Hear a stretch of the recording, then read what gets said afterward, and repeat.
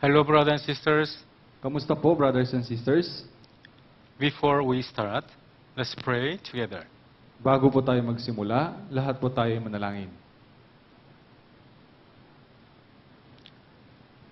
Our Heavenly Father who will save us, thank you. Ama naming Diyos sa langit na sa amin na nagligtas, maraming salamat po.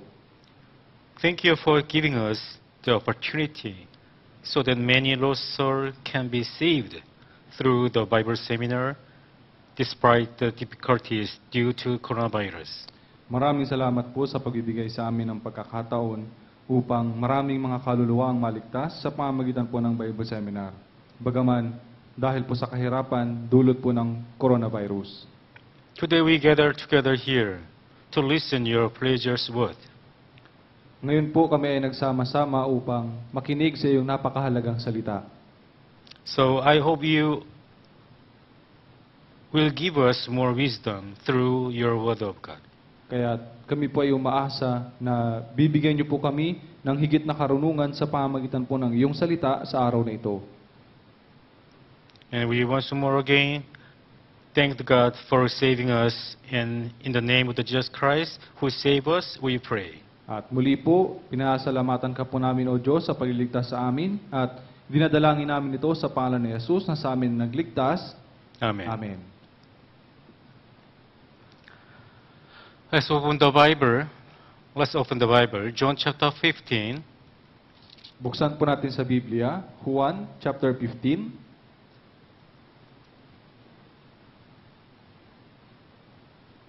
John chapter 15, verse 3 hanggang 5. Juan chapter 15, verse 3 hanggang 5. If you find already, shall we read together? 3, 2, 1. Kayo'y malilinis na sa pamagitan ng salita na aking sinabi sa inyo. Kayo'y manatili sa akin at ako'y sa inyo, gaya ng sanga na hindi magbubunga buhat sa kanyang sarili, malibang nakakabit sa puno. Gayon din naman kayo, malibang kayo manatili sa akin. Verse 5, Ako ang puno ng ubas, kayo ang mga sanga. Ang nananatili sa akin at ako'y sa kanya ay siyang nagbubunga ng marami. Sapagkat kung kayo hiwalay sa akin, ay wala kayong magagawa. We are going to learn regarding complete salvation and real Christian life today. Ngayon po ay pag-aaralan po natin yung patungkol sa ganap na kaligtasan at sa tunay na Christian life. Many churches have been unable to do live Bible seminar at churches due to the recent coronavirus increase. Marami po sa mga churches ay hindi po nagawa na magkaroon ng live na Bible seminar sa kanilang mga churches dahil po sa ah, kasalukuyan na pagtaas ng mga infected ng coronavirus. So this summer retreat was conducted online or live by each churches. Anyway, the preach the, of the gospel of God can never be stopped. Kaya nga po, ang summer retreat na ito ay isinagawa online o kaya naman sa ibang church ay live. Pero gayon pa man po, yung pangangaral ng Ebanghelyo ng Diyos kailanman ay hindi matitigil. So this time through this online or live Bible seminar, this time, I believe many people have been saved. Kaya po sa pamagitan ng online man or live na Bible seminar sa pagkakataong ito, naniniwala po ako na maraming mga tao ang naligtas.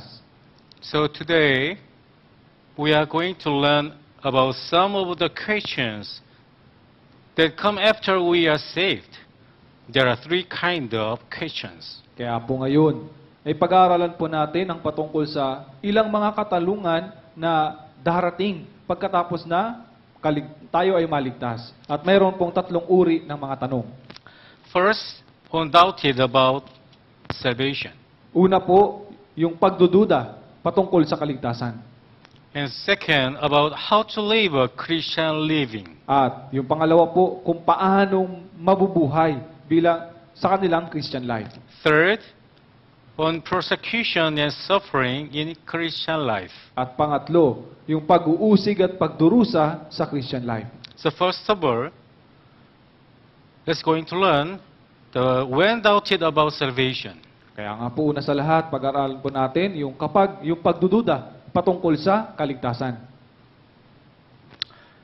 Before start, let me tell you my experience regarding my salvation. Kaya bago po tayo magsimula, isasabihin ko po sa inyo yung karanasan ko patungkol sa aking kaligtasan.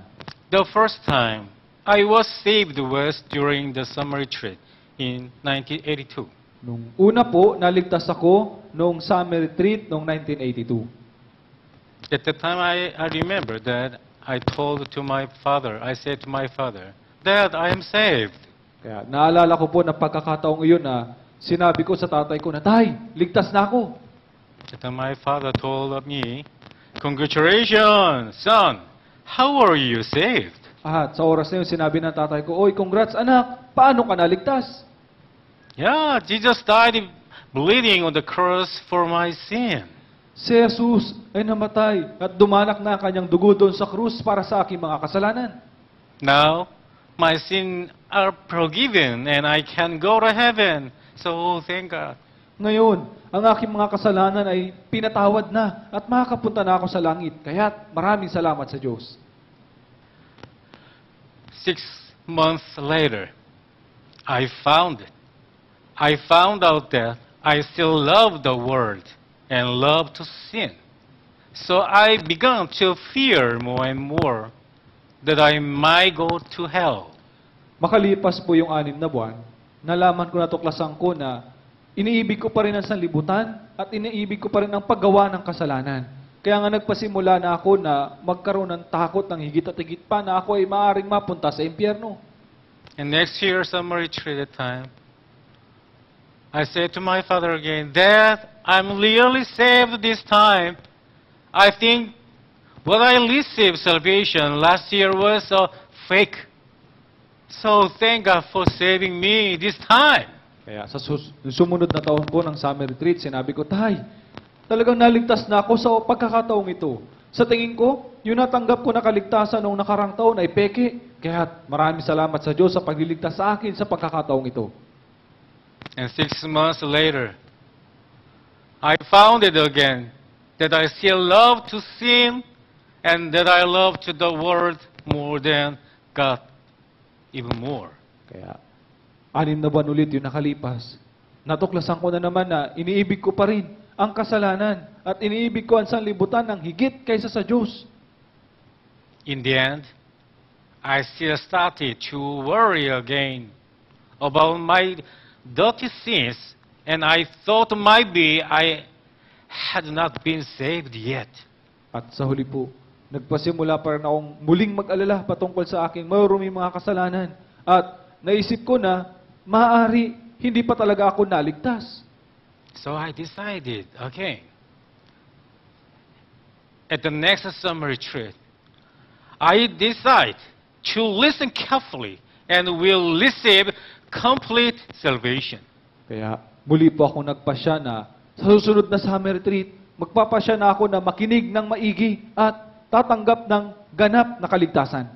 And then next year, summer retreat in 1984, I was also saved again and again. Kaya nga po, nung sumunod na taon ng summer retreat noong 1984, nahaligtas na naman ako ng paulit-ulit. This was my third time salvation already. It is possible? Ito na po yung aking ikatlong kaligtasan. Posible po ba ito? And I told everyone that this time was real. And I wanted to believe that this time was real time too. At sinabi ko po sa lahat na sa pagkakataong ito, ito ay tunay na. At gusto ko rin na paniwalaan na sa pagkakataong ito ay tunay na. But brother and sister, unfortunately, after six months later, I felt into trouble again and again. Subalit, mga brothers and sisters, pagkalipas ulit ng anim na buwan, ako ulit ay nahulog sa kaguluhan na ulit, paulit-ulit. Because I still like the wo- world. And I found myself unable to stop sinning. Eventually, I felt into frustra- frustration. Dahil gusto ko pa rin ang sanlibutan. At nakita ko yung, nalaman ko sa sarili ko na hindi ko magawang tumigil sa pagkakasala. At sa huli po, nahulog ako sa kabiguan. After that, I realized that I was still someone who could not go to heaven. I couldn't honestly tell any, anyone that I had not been saved yet because I was ashamed. Pagkatapos po niyon, naunawaan ko na ako pa rin ay tao na hindi makakapunta sa langit. At hindi ko rin masabi sa sino man ang may katapatan na hindi pa ako naliligtas dahil ako po ay nahihiya. So when I was young at that time, one day I had a dream. Kaya nga po nung panahong iyon, nagkaroon po ako ng panaginip. In my dream, all my father had entered heaven. Sa panaginip ko po, yung buong pamilya ko ay pumasok sa langit. And I met God and explained to God that I was saved by the blood of Jesus. But in my dream, God said this to me. At humarap po ako sa Diyos at ipinaliwanag ko sa Diyos na ako ay naligtas na sa pamagitan ng dugo ni Jesus. Subalit, doon sa panaginip ko ay ganito yung sinabi ng Diyos sa akin. It's like Matthew chapter 7, verse 23. Like this, God said to me, like this. Kaya dito po yung sinabi ng Diyos sa akin, dito po sa Mateo chapter 7 verse 23. And then will I profess unto them, I never knew you. Depart from me, ye that work iniquity. At kung magkagayon ay ipahayag ko sa kanila, hindi ko kayo kilala kailanman. Lumayo kayo sa akin, kayo mga gumagawa ng kasamaan. Brothers and sisters, what is problems for me? Mga brothers and sisters, ano ba ang problema sa akin? The reason why I was not sure of salvation for th- three years was my problem because of my long ha- habit. So confirming salvation through a completely changed life rather than the promise of great salvation that God has granted uh, to us.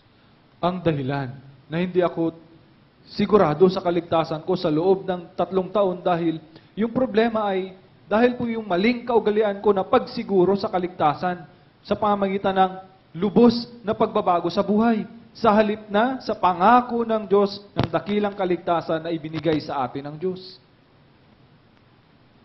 On April 5th, 1985, finally I realized, I came to realize the true meaning of salvation. At noong April 5, 1985, sa huli po ay naunawaan ko yung tunay na kahulugan ng kaligtasan. It is not my fourth salvation. This is my true first salvation and last eternal salvation.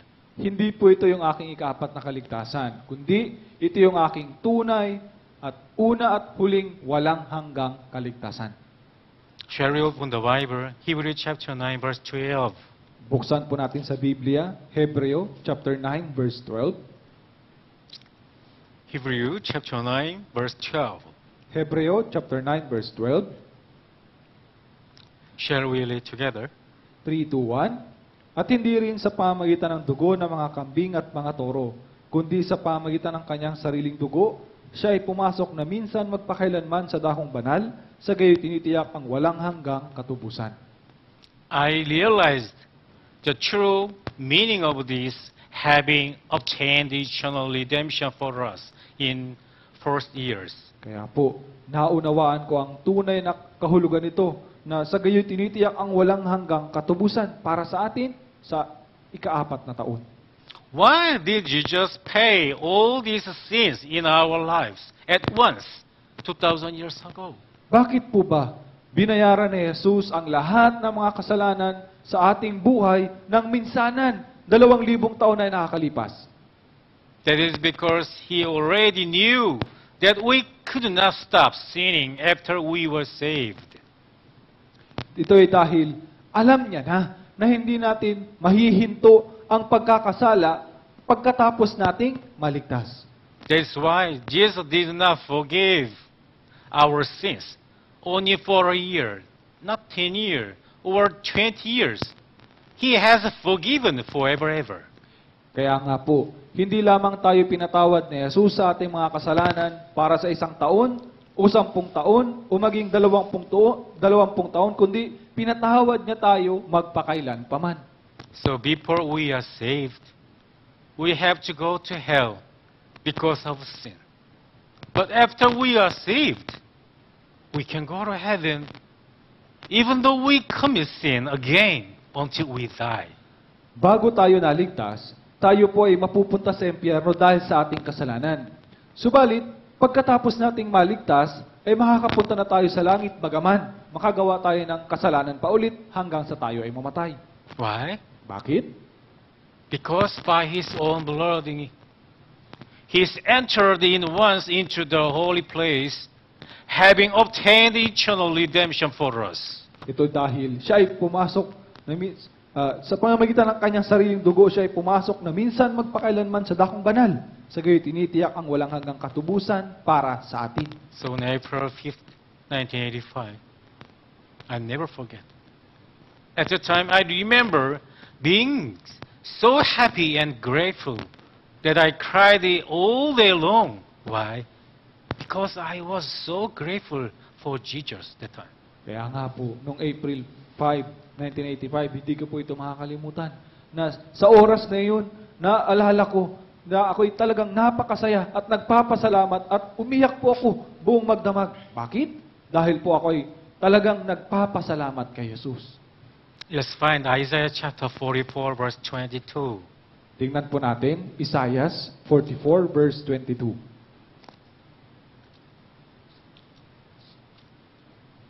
Isaiah chapter 44, verse 22. Isaiah po, chapter 44 verse 22. Shall we read together? 3 to 1. Aking pinawi na parang ulap ang mga pagsuway mo, at ang iyong mga kasalanan na gaya ng ambon. Manumbali ka sa akin, sapagat ikaw ay tinubos ko. Bible said, God promised, return to me, for I have redeemed you. Kaya sinabi po ng Diyos, ito yung pangako niya. Manumbali ka sa akin, sapagat ikaw ay tinubos ko. 1985, at the time, I said to myself, I was, I was so a fool. I have not been saved for three years, even though it is such an easy salvation. Kaya nga po nung 1985, nung oras na iyon, sinabi ko sa sarili ko na napakahangal ko. Hindi ko hindi ako naligtas sa loob ng tatlong taon. Bagaman ito ay napakadaling kaligtasan. Isn't it? Hindi po ba? Brothers and sisters, even among all of you, doubted of salvation, many arise because of foolish thought like me. Kaya mga brothers and sisters, maging sa inyo man po, yung pagdududa sa kaligtasan ay maaaring dumating dahil sa kahangalan ng pag-iisip na gaya ko. To make sure you don't make a foolish mistake like me. Sabi ko po sa inyo yung kahangalan na karanasan ko upang masigurado na hindi kayo gagawa ng mahangal na pagkakamali na gaya ko. Brother, sister, let's open the Bible. John chapter 10, verse 28. Kaya mga brothers and sisters, tignan po natin sa Biblia, Juan chapter 10, verse 28. John chapter 10, verse 28. Juan chapter 10, verse 28.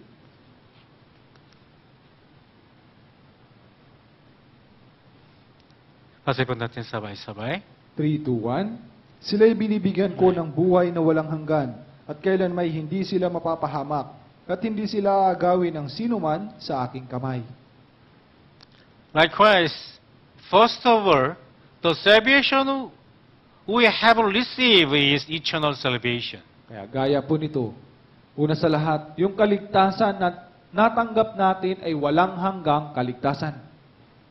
Even after we are saved, no matter how much more we sin, we cannot go to hell because of the sin we have committed in our lifetime. Kaya nga po, kahit na pagkatapos nating maligtas, gaano man karaming kasalanan yung magawa natin, ay hindi na tayo mapupunta sa impyerno dahil sa mga kasalanan nagawa natin sa buhay natin.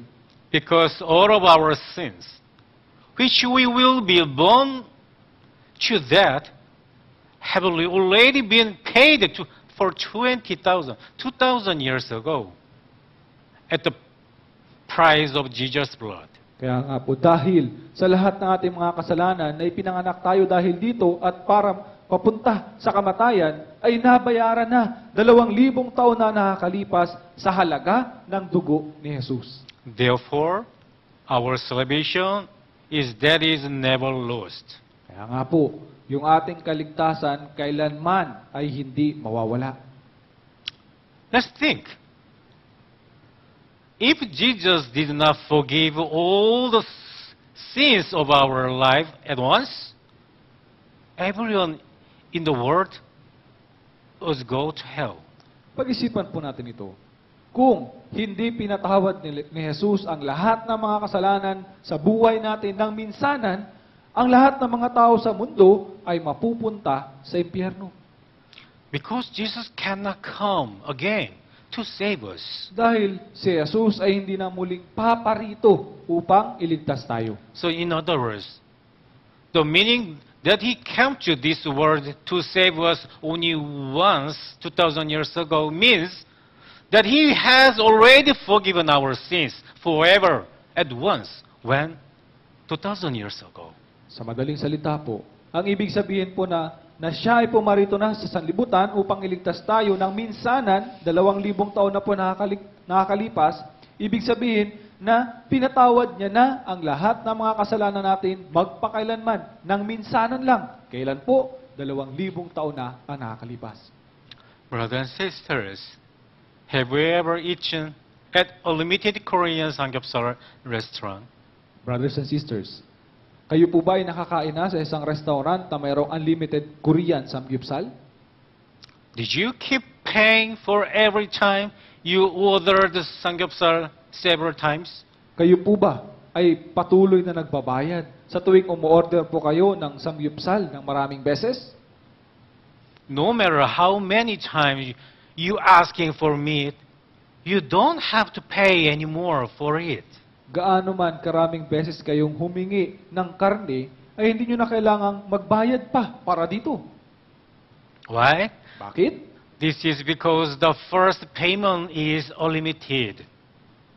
Isn't it? Ito ay dahil yung binayaran ninyo ay yung bayad para sa unlimited. Di po ba? Why? Bakit po? Unlimited. Dahil ito ay unlimited. After we were saved, no matter how much more we sinned again, we could go to heaven. Because Jesus made all payments in the first time in 2,000 years ago. Kaya nga, pagkatapos nating maligtas, gaano man tayo magkasala pa, ay makakapunta pa rin tayo sa langit dahil binayaran na ni Jesus ang lahat ng kabayaran ng una, dalawang libong taon na ang nakakalipas. So, salvation is like an unlimited Korean Samgyeopsal restaurant. Kaya nga po, yung kaligtasan ng Diyos ay gaya na po ng restaurant na mayroong unlimited Korean samgyupsal. May I ask you something? Tatanungin ko po kayo, So, how do we live now kung after gayon, we got salvation? paano tayo mabubuhay pagkatapos nating magkaroon ng kaligtasan? How do we live now? Paano po tayo mamumuhay ngayon? Since we were saved, no matter how much we sinned, we can go to heaven. So, can we live with sin again? Magmula nang tayo ay maligtas, gaano man tayo magkasala pa, ay makakapunta na tayo sa langit. Kung gayon, pwede na ba tayong mamuhay sa kasalanan? Do you want? Gusto po ba ninyo? No. Hindi po. Let's open the Bible, Romans chapter 6, verse 1. Tingnan po natin sa Biblia. Roma, chapter 6, verse 1. Rome chapter 6, verse 1 hanggang 2. Chapter 6, Roma po, chapter 6, verse 1 hanggang 2. Rome chapter 6 verse 1 and 2. Roma chapter 6 verse 1 hanggang 2, Let's read together. 3 to 1. Ano nga ang ating sasabihin? Magpapatuloy ba tayo sa pagkakasala upang ang biyaya ay sumagana? Huwag nawang mangyari. Tayo mga namatay na sa pagkakasala, paano nga tayong mabubuhay paroon? And one more, verse 6. At isa pa po sa verse 6, So let's read together. 3 to 1, Naalaman natin na ang ating dating pagkatao ay kasama niyang ipinako sa krus upang ang katawang makasalanan ay mawala ng bisa at upang tayo hindi na magpaalipin pa sa kasalanan. That is why we cannot live that way. Kaya nga po, hindi tayo maaring mamuhay sa ganoong paraan. Therefore, after we are saved, we must live like God's children. Kung gayon, pagkatapos nating maligtas, dapat po tayong mamuhay na gaya ng mga anak ng Diyos. So how do we live well like children of God? Kung gayon, paano ba tayo mamumuhay ng maayos gaya ng isang anak ng Diyos? This is the second topic of today's sermon on Sunday. Ito po yung ikalawang topic po natin para po sa sermon sa araw na ito. It is about how to live a Christian living. Ito ay paano ba tayo mabubuhay sa ating Christian life. So let's go back. John chapter 15, verse 1. Balikan po natin Juan chapter 15 verse 1. Let's go back. John chapter 15, verse 1 hanggang 6. Balikan po natin Juan chapter 15 verse 1 hanggang 6.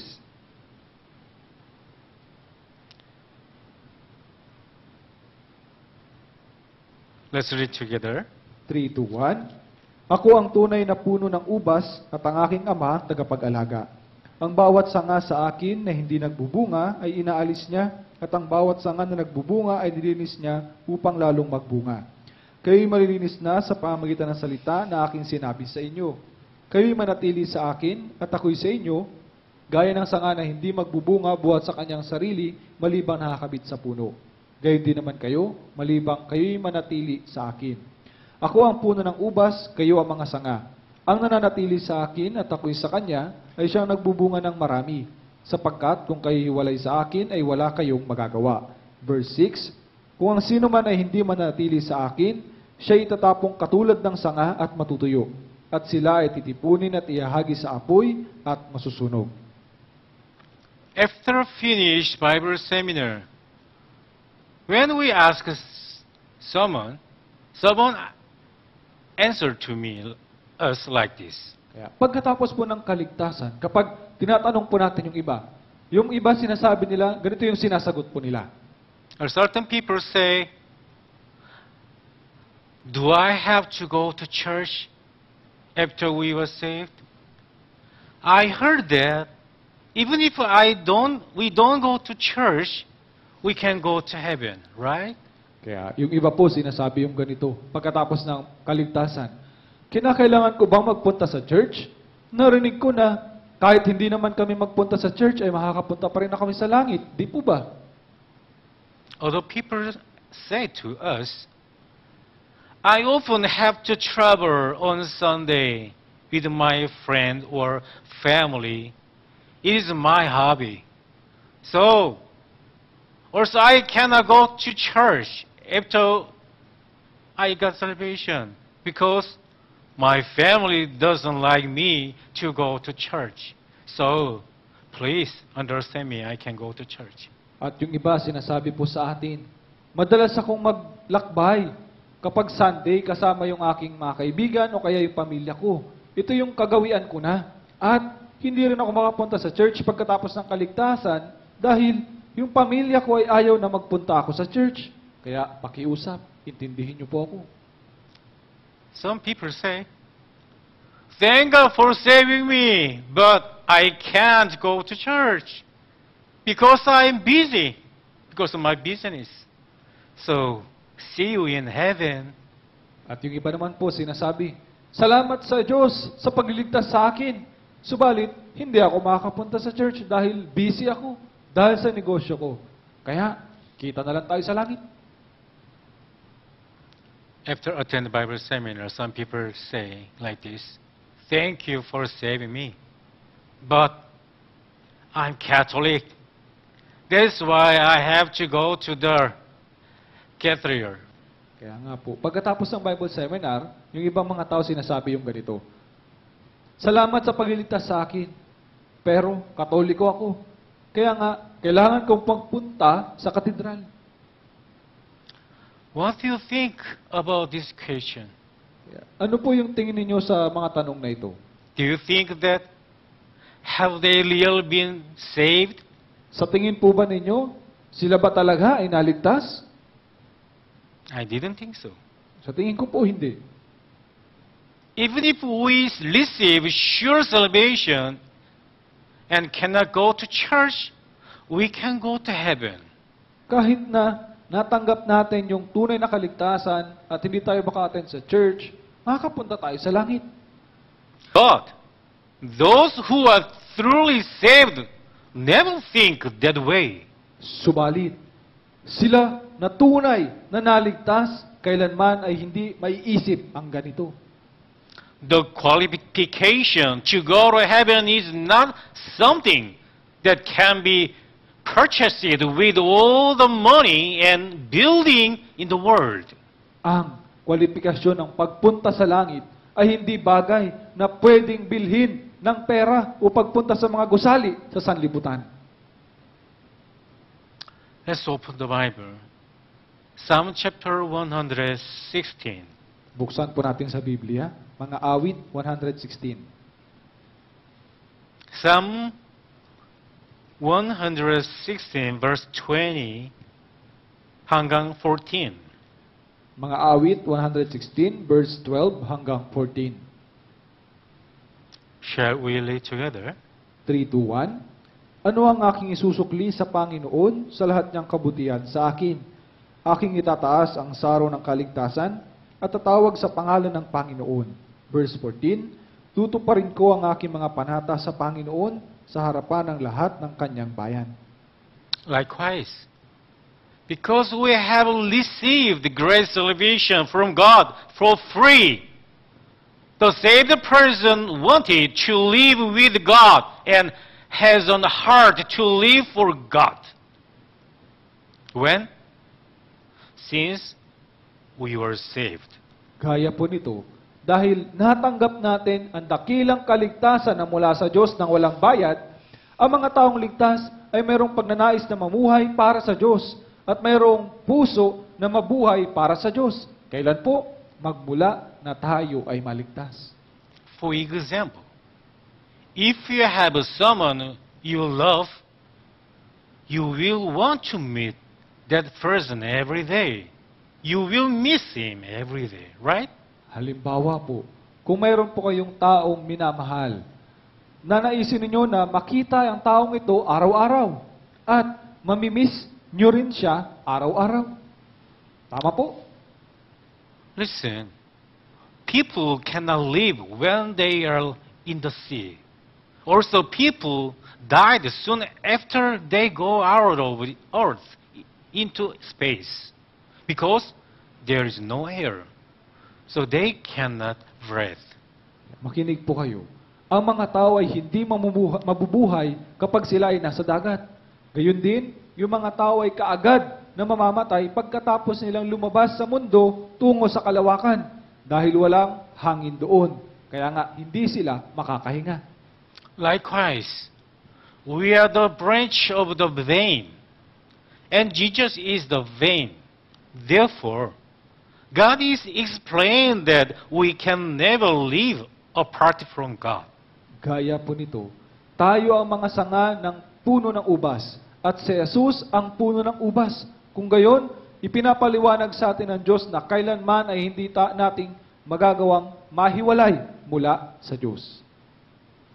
So remember, brother and sister, therefore, if anyone refuses to go to church and listen to God's word after being saved, maybe that person is not yet saved.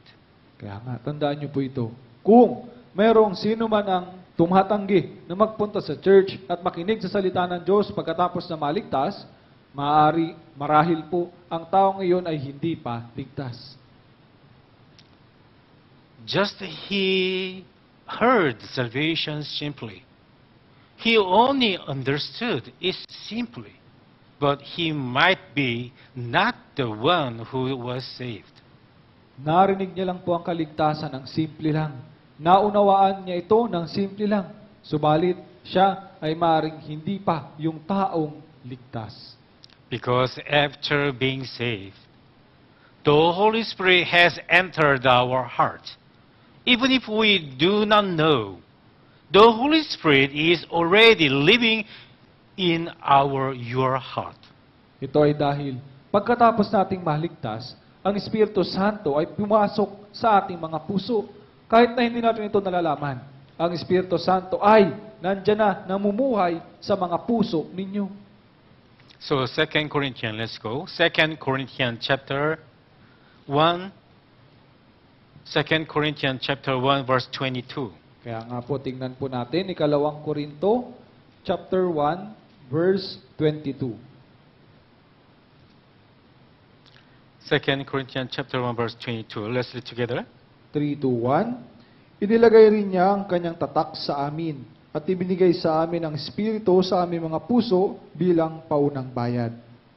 And one more. Let's open the Bible.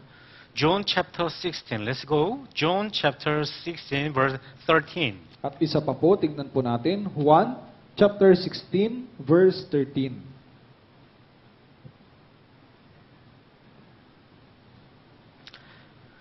John chapter 16 verse 13. Basahin po natin sabay-sabay. 3 to 1. Subalit kapag dumating na ang Espiritu ng katotohanan, papatnubayan niya kayo sa buong katotohanan.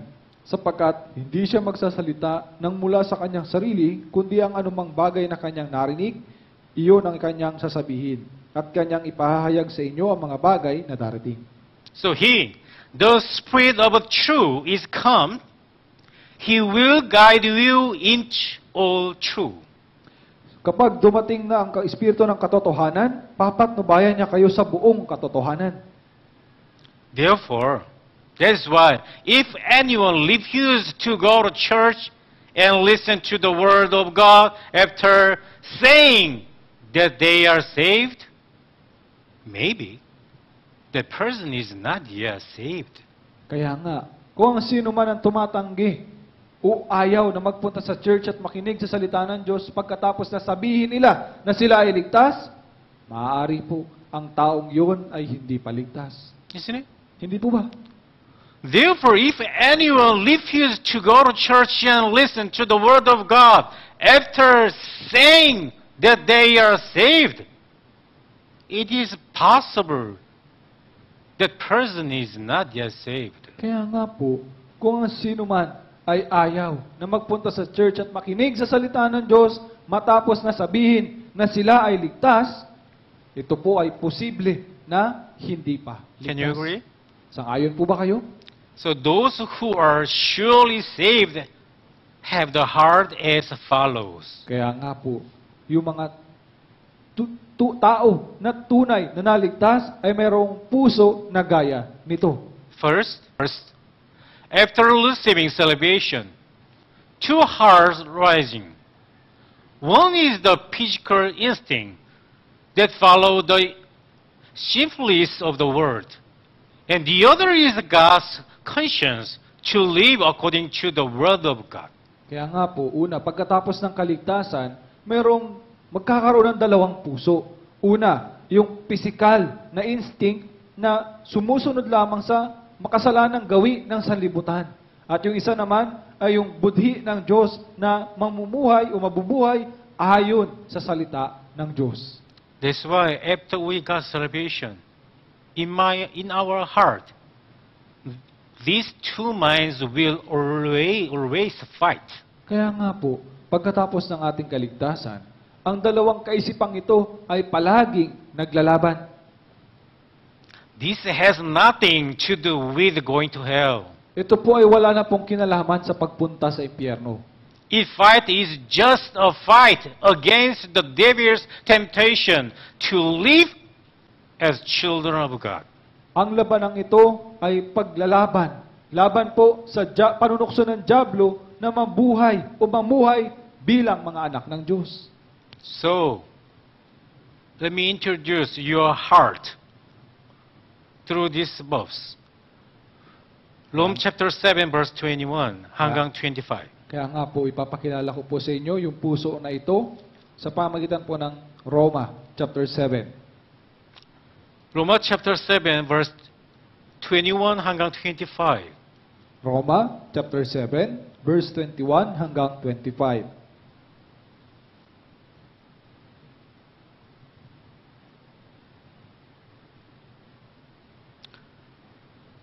If you find already this verse also, let's read together. Kung nahanap nyo na po ang verse na ito, basahin po natin. 3, 2, 1. Kaya nga, natagpuan ko ang isang kautusan na kung ibig kong gumawa ng mabuti, ang kasamaan ay malapit. Sapagkat ako'y nagagalak sa kautusan ng Diyos sa kaibuturan ng aking pagkatao. Subalit nakikita ko ang kakaibang kautusan sa aking mga bahagi na nakikipagbaka laban sa kautusan ng aking pag-iisip. At ako'y binibihag sa ilalim ng kautusan ng kasalanan na nasa bahagi ng aking katawan. Kahabag-habag na tao ako, sino ang magliligtas sa akin mula sa katawang ito ng kamatayan? Verse 25, Ngunit salamat sa Diyos sa pagmamagitan ng Yeso Kristo na Panginoon natin. Kaya nga, ako mismo ay naglilingkod sa kautusan ng Diyos sa pamagitan ng aking pag-iisip, ngunit sa pamagitan ng laman ay sa kautusan ng kasalanan. Whose heart is this heart? Kaninong puso ang pusong ito? I think this is our heart, Sa tingin ko po, ito ay yung puso natin. isn't it? Hindi po ba? Actually, this the apostle Paul expressed his own heart. Sa katunayan po, ito po, siya, ito po yung ipinaliwanag ni Apostol Pablo yung kanyang sariling puso. He was an apostle who wrote 13 books of the New Testament. Siya po ay ang apostol na nagsulat ng labintatlong aklat dito po sa New Testament. However, he preached the gospel until his death, but he always fought in true heart. Gayunman, ipinangaral niya ang ebanghelyo hanggang sa kanyang kamatayan. Subalit, siya ay palaging merong labanan ng dalawang puso. Why he always fought in true heart? Bakit palagi po siya nakikipaglaban yung dalawang kaisipan? Because he was not saved? Dahil ba hindi siya ligtas? No. Hindi po. Because we have been forgiven forever by the Word of God, but our imperfect physical instincts still remain. Dahil tayo ay pinatawad na magpakailanman sa pamagitan ng salita ng Diyos, subalit yung ating hindi perpektong physical na instinct ay nananatili pa rin. Therefore, we must always fight against the temptation of the devil. Kaya nga, dapat po na tayo na palaging labanan o makipaglaban, laban po sa panunukso ng Diablo. It is very normal our heart is a saved person. Kaya ito po yung normal na kaisipan natin o puso bilang taong ligtas. This is called sanctification. Ito po ay tinatawag na pagpapabanal. In other words, it means trying to live as a God's children. Sa madaling salita, ibig sabihin po na ito, sinusubukan natin na mamuhay na gaya o bilang anak, mga anak ng Diyos. And second, let's go from the Bible, John chapter, let's go back, John chapter 6, At pangalawa po, balikan po natin, Juan chapter 6, verse 68. verse 68.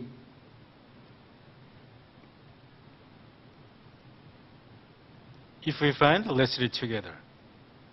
3, 2, 1. Sumagot sa kanya si Simon Pedro, Panginoon, kanino kami pupunta? Ikaw ang may mga salita ng buhay na walang hanggan. So if those who are surely saved have this heart like this. Kaya nga po, yung mga tunay na naligtas ay mayroong puso na gaya nito. So it means that those who are saved will have the will to live by sticking to the Word of God. Ibig sabihin po nito na ang mga tao na naligtas ay mayroong pagnanais na mamuhay na malapit sa salita ng Diyos. That means that the branch of the tree must be attached to the vine to live. Ibig sabihin po nito na yung sanga ng puno ay dapat na nakakabit doon sa puno ng ubas upang mabuhay.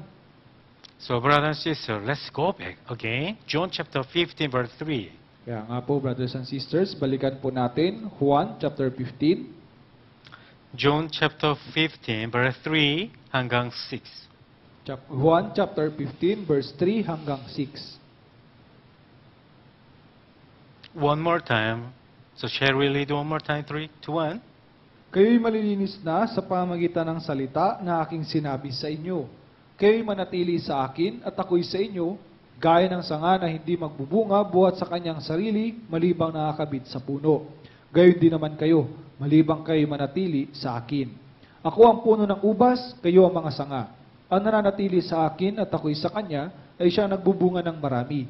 Sapagkat kung kayo'y hiwalay sa akin, ay wala kayong magagawa. Verse 6, Kung ang sino man ay hindi manatili sa akin, siya itatapong katulad ng sanga at matutuyo, at sila ay titipunin at ihahagi sa apoy at masusunog.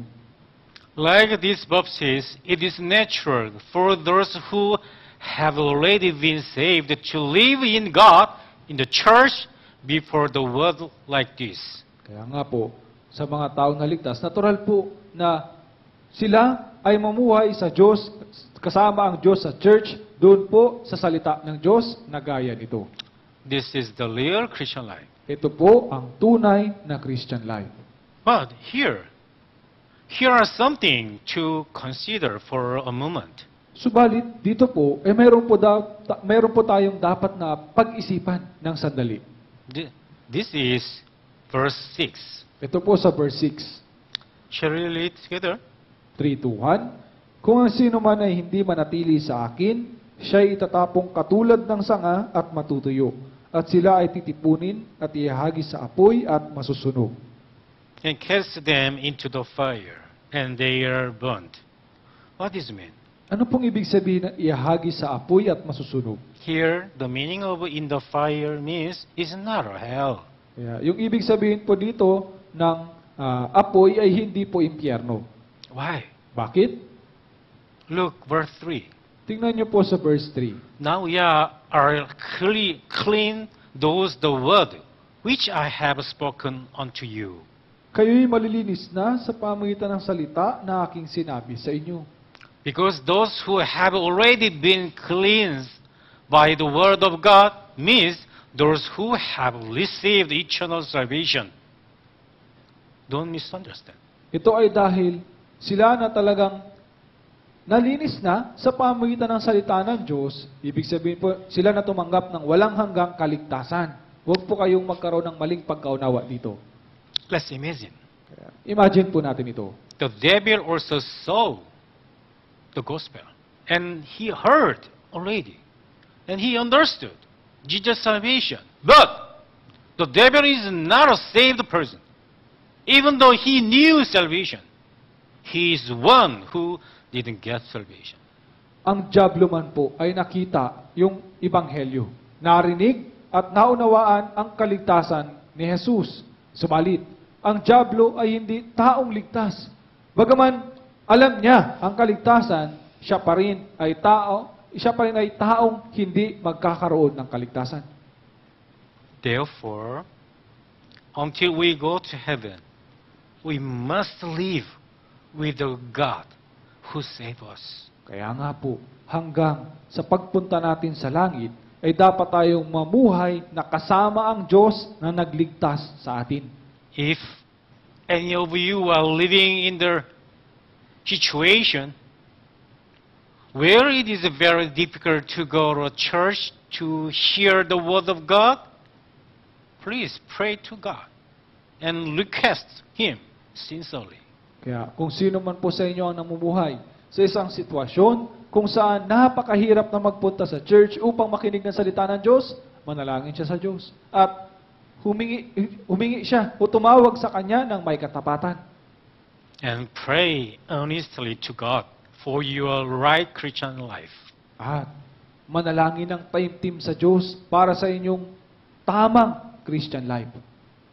And then, He must, He will, the God will surely encourage and guide and help you. At pagkatapos, ang Diyos, siya ay tiyak na palalakasin kayo at gagabayan kayo at tutulungan kayo.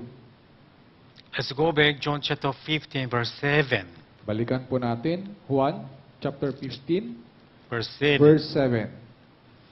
Basahin po natin sabay-sabay. 3 to 1.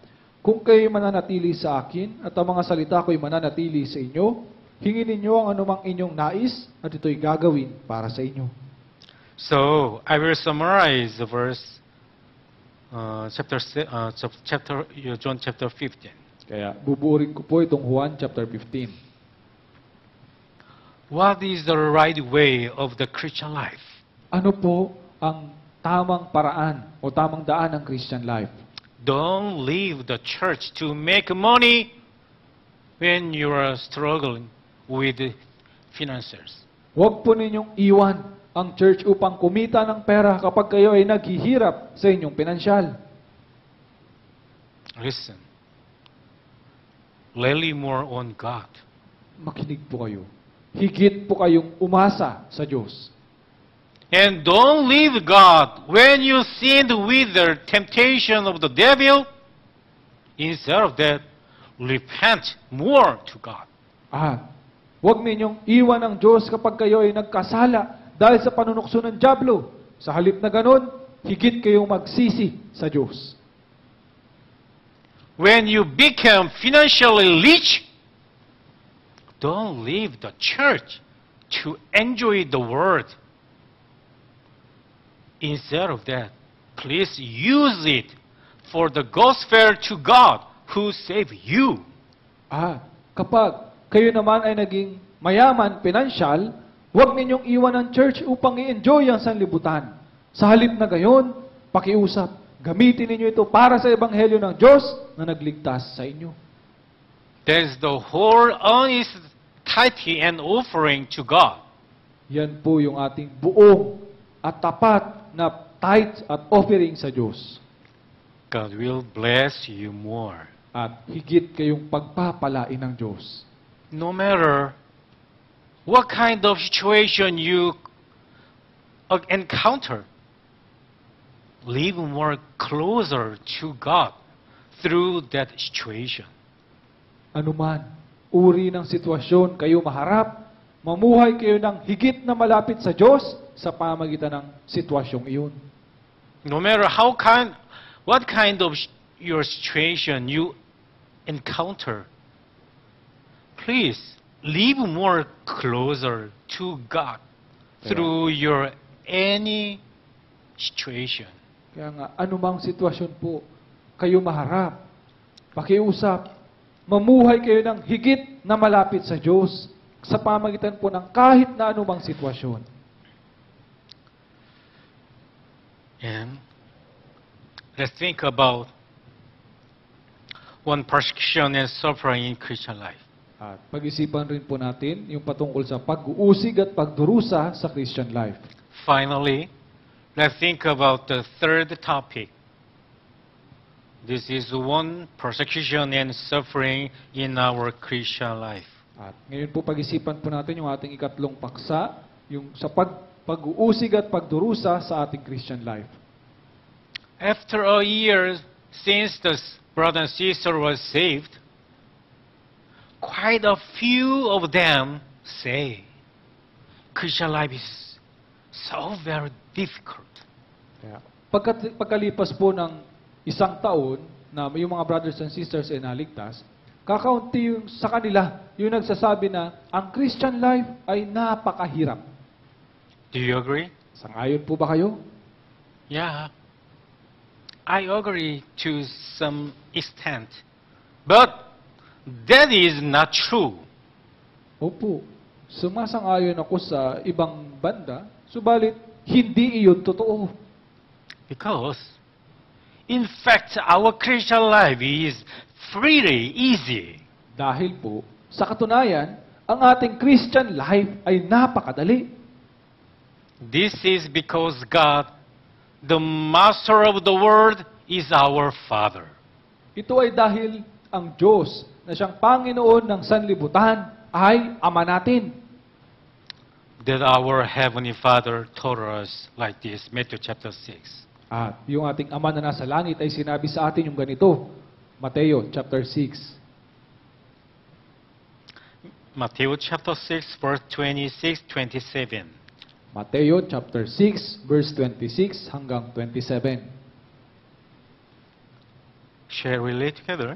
3, 2, 1. Tingnan ninyo ang mga ibon sa himpapawid.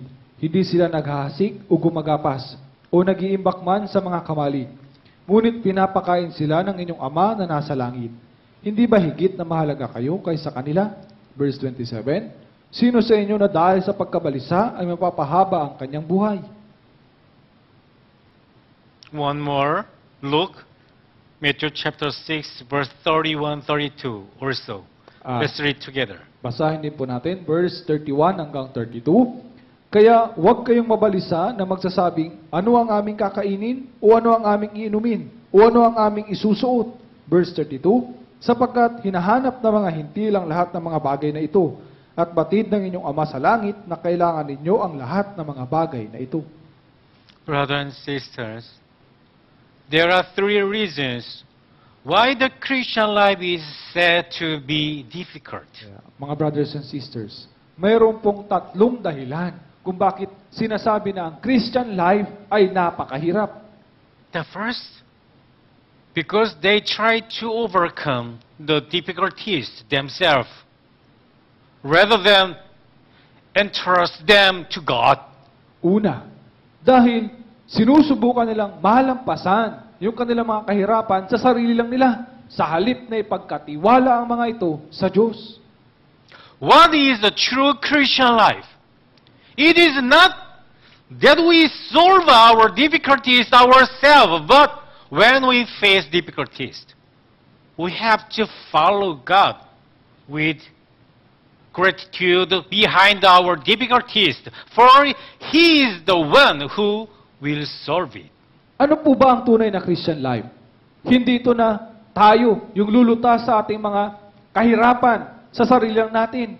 Kundi kapag tayo ay naharap sa mga kahirapan, kinakailangan nating sumunod sa Diyos ng may pasasalamat sa kabila ng mga kahirapan natin dahil siya mismo ang lulutas sa mga ito.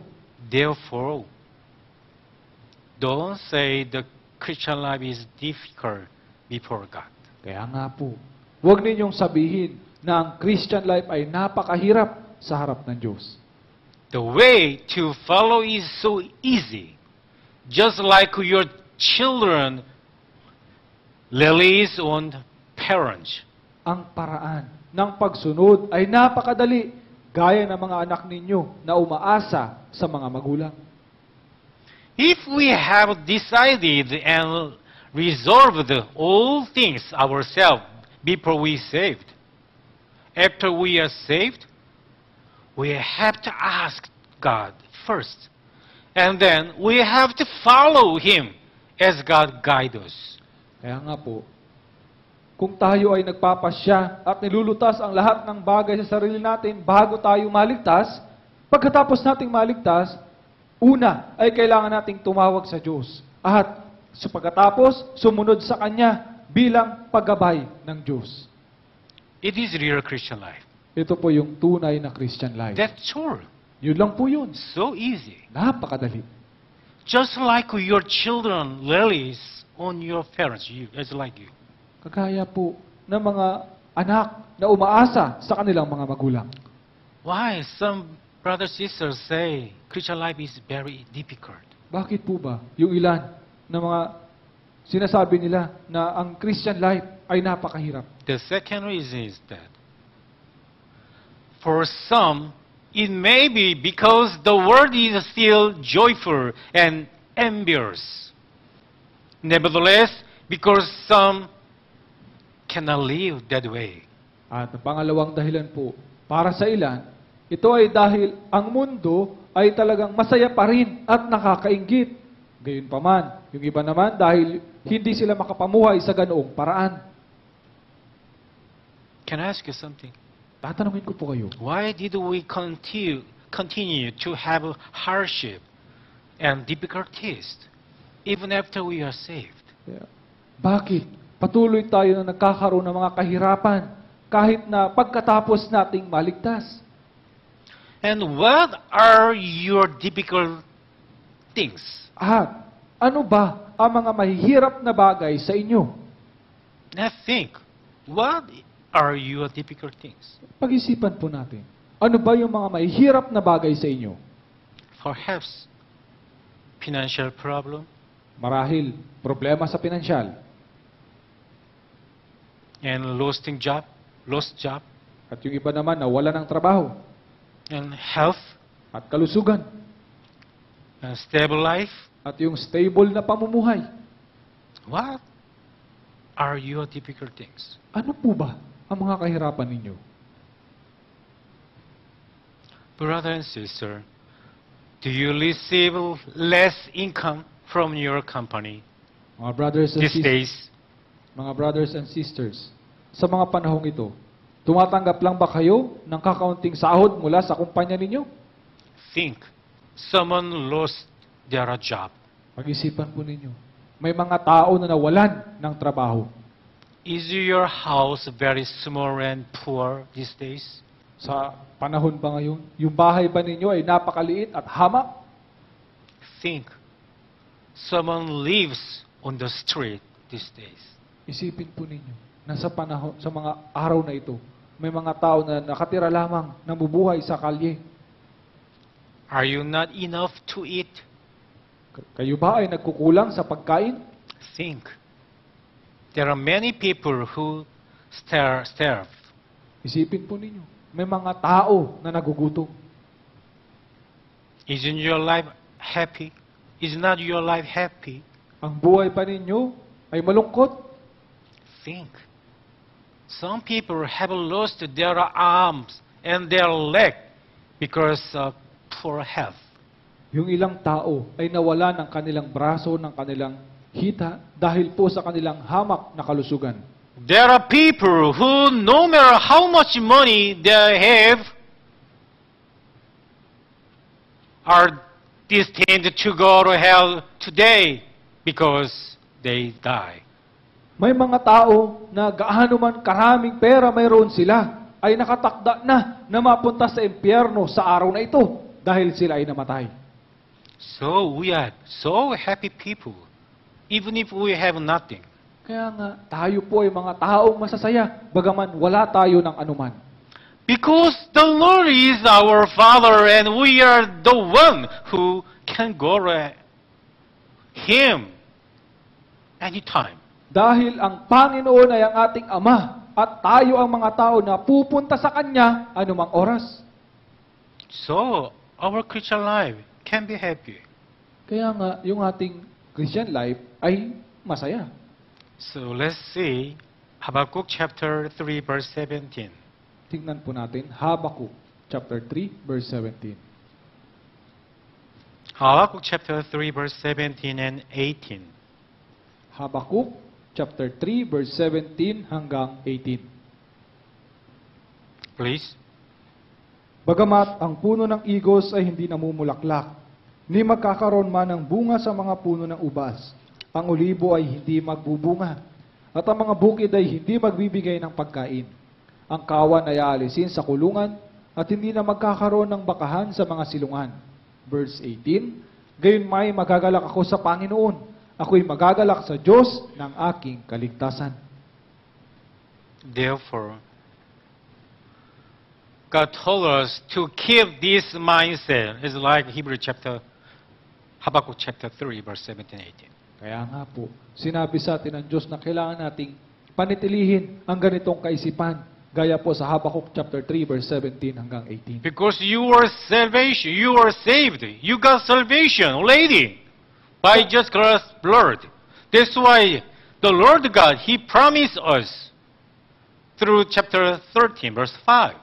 Kaya nga po, dahil kayo ay naligtas na. Kaya nga, yung Diyos ay nangako sa atin sa pamagitan po nitong Hebreo chapter 13, verse 5. Hebrew chapter 13, verse 5. Let's go. Tingnan po natin. Hebreo. Chapter Hebreo 13, verse 5. chapter 13, verse 5.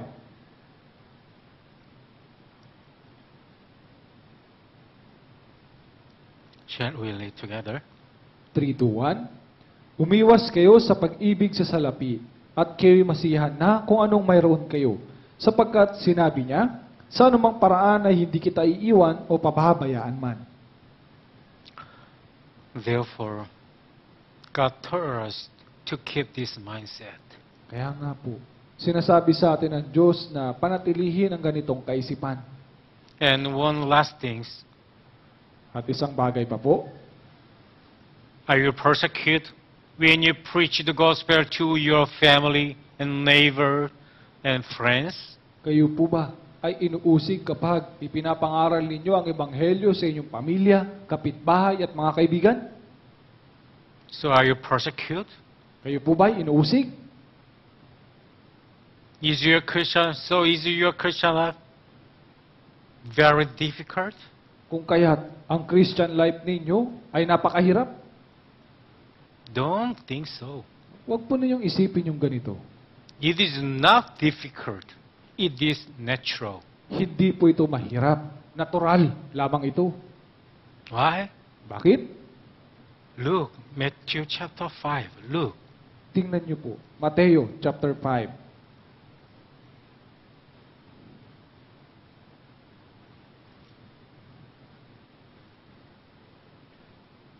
If your life is persecuted when you preach the gospel to your beloved family, you have to rejoice. Kaya kung kayo po ay inuusig kapag ipinapangaral ninyo ang, yung, ang ebanghelyo sa inyong minamahal na pamilya, dapat Why? po kayong magalak. Why? Okay? Because of Matthew chapter 5 verse 11. Ito po ay dahil dito po sa Mateo chapter 5 verse 11. Brothers, sisters, let's read together. 3 to 1. Mapapalad kayo kapag kayo ay nilalait, inuusig at pinagsasabihan ng sari-saring kasamaan na pawang kasinungalingan dahil sa akin. Blessed are you. Blessed are you when people insult you. Mapapalad kayo kapag kayo ay nilalait. That's why our, our Christian life is subject to suffering and persecution. Kaya nga, ito po yung dahilan kung bakit ang ating Christian life ay dapat na magdusa at usigin. Normal Christian life is not difficult. Conversely, it is something we should be pleased with. Ang normal na Christian life ay hindi po mahirap, kundi ito ay bagay na dapat na tayo ay malugod. Why? Bakit? Should we be pleased? Why should we please? Bakit po ba tayo dapat na malugod? Despite persecution and suffering in our lives, Sa kabila ng ating ng pag-uusig at pagdurusa sa buhay natin. Matthew chapter 5 verse 12. Mateo chapter 5 verse 12. Next, next verse, let's read together. Basahin po natin, 3 to 1. Magalak kayo at magsaya, sapagkat malaki ang gantimpala ninyo sa langit, sapagkat gayon din nila inusig ang mga propeta na nauna sa inyo. That's why we must rejoice in persecution and suffering. Because we receive God's reward as much as we suffered and persecuted for a gospel. Kaya nga, dapat po tayong magalak sa pag-uusig at pagdurusa dahil sa tatanggapin natin ang gantimpala ng Diyos hanggat tayo ay nagdurusa at inuusig dahil sa Ebanghelyo. As if, as if an Olympic gold medalist spent four years for painful training. Gaya po ng isang Olympic gold medalist na ginugugol yung apat na taon sa masakit at mahirap na mga pagsasanay. Today we have learned the three things to think about after we were saved. Kaya ngayon po ay pinag-aralan po natin yung tatlong bagay patungkol sa pagkatapos nating maligtas. First, the doubt of salvation that comes after being saved. Una po, yung pagdududa tungkol sa kaligtasan na darating pagkatapos nating maligtas. Second, the right way to live a Christian life after being saved. At pangalawa, yung tamang paraan upang mamuhay sa ating Christian life pagkatapos na maligtas. Third, the reason persecution and suffering comes to us after being saved. At pangatlo, yung dahilan ng pag-uusig at pagdurusa na darating sa atin pagkatapos nating maligtas. Let's pray together. Madalangin po tayo. Thank you, Heavenly Father, for saving us. Maraming salamat po, Ama namin nasa langit, sa pagliligtas sa amin. Thank you for giving us the opportunity so that many lost souls can be saved through the Bible seminar, despite the difficult, difficulties due to coronavirus 19. Maraming salamat po sa pagbibigay sa amin ng pagkakataon na marami mga kaluluwa ang naligtas sa pamagitan po ng Bible Seminar sa kabila ng mga kahirapan dulot po ng coronavirus. Also, thank God for giving us more wisdom through today's Sunday sermon. At maraming salamat din po, Diyos, sa pagbibigay sa amin sa araw na ito ng karunungan sa pamagitan po ng Sunday sermon na ito. Oh Lord God, we know well. So we know that the day when the Lord will come again is too near. Panginoong Diyos, nahalaman po namin na ang araw ng ang pagbabalik ng Panginoon ay napakalapit na. So may you have mercy on, the, on this Philippine so that all the soul can be saved until your second coming. Kaya nawa, kahabagan niyo po yung buong Pilipinas upang lahat ng mga nawawalang kaluluwa ay maligtas.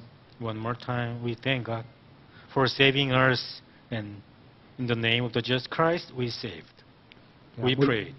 Muli po, nagpapasalamat po kami sa iyo, Diyos, sa pagliligtas sa amin at idinadalangin namin ito sa pangalan ni Jesus. Amen. Amen.